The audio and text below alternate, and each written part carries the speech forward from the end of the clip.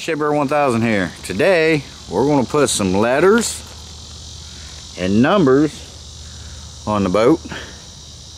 Maybe a stripe or two. So, stick around and let's get these put on.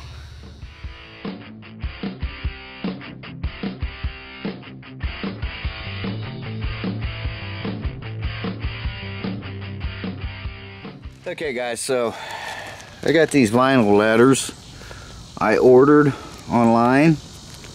There's 162. Yeah, they're three inches tall.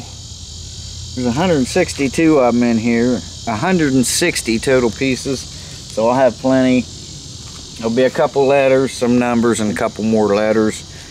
I'm going to space them somewhat apart and I think they'll be all right. I'm just going to follow this line down through here.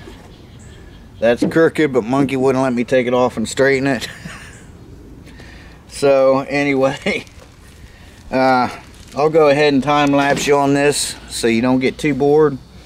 And uh, then I'll tell you what I'm going to do with the stripe.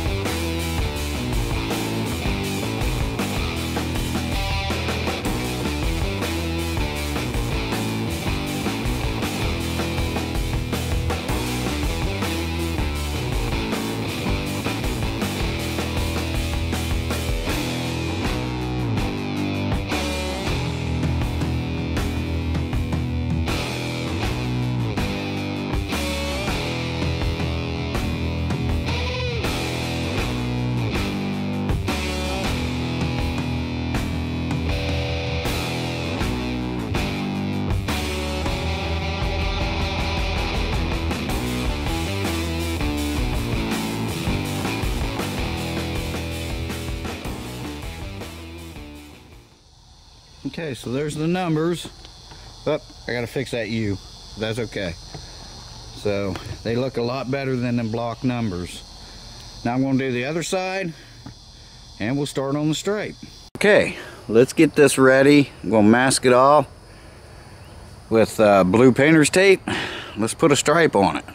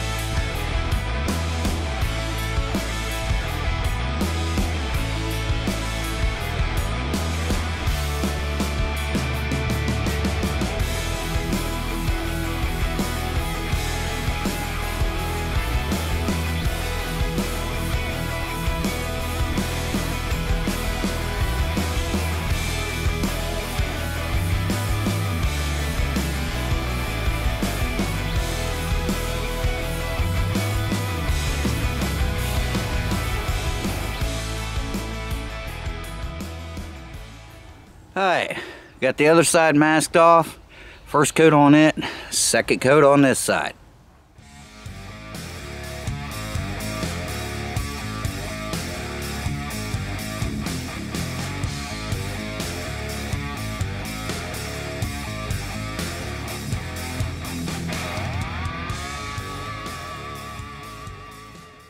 Alright, let's peel the stripes off of this side.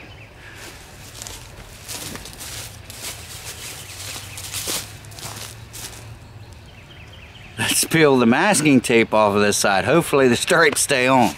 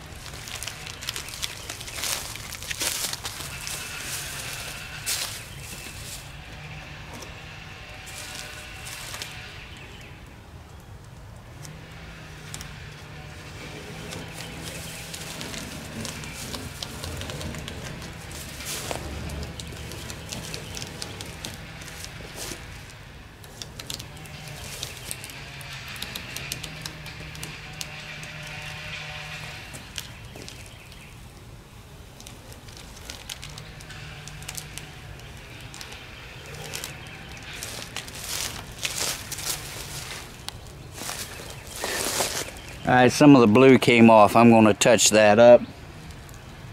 And uh, then we'll check it out. All right, guys. So here we go.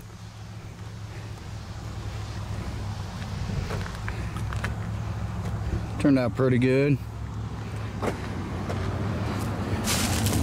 Ain't perfect, but that's all right. I think it looks all right for just an old, an old fishing boat. Get a whole thing of it here. So, excuse me. Last night we painted the bunks. Uh, since it's going to have blue carpet, we want to break this up a little bit. This part's still going to be white. This part's going to have carpet on it. So, I think, I think that black right up in there might go white. I think that's what I'll do with that. But then there'll be too much blue inside. So what we're going to do with the seats, we're going to go with white seats with uh, dark blue piping around it. I think that'll that'll look pretty good. Uh, yeah, I mean a little bit of touch up here and there, and I think it'll be all right. Tomorrow, I'll clear coat this whole the whole sides. Just everything you can see here, because the bottom's already clear coated up to the blue, and then I'll just clear all this.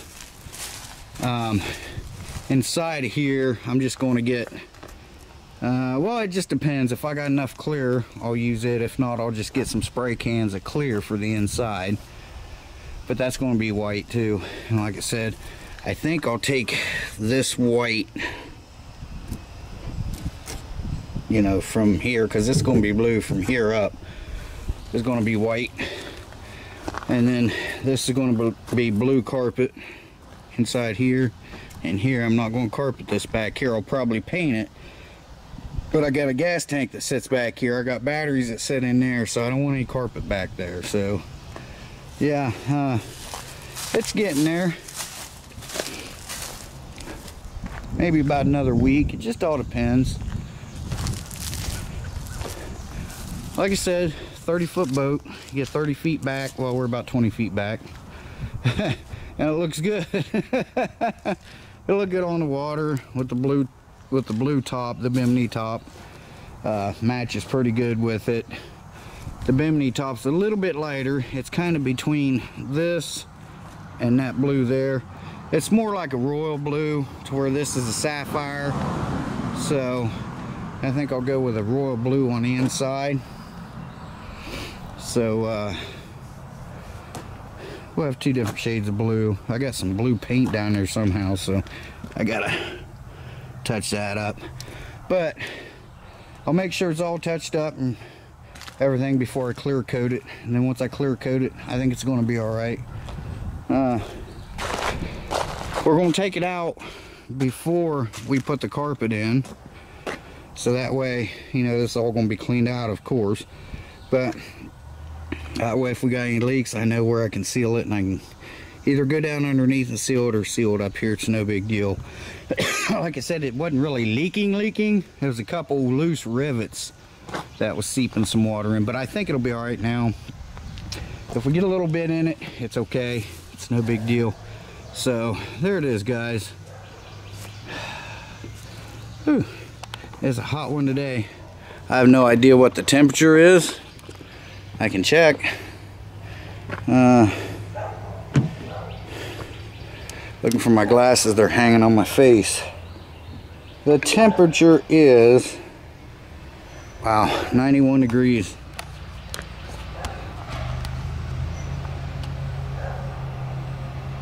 Focus.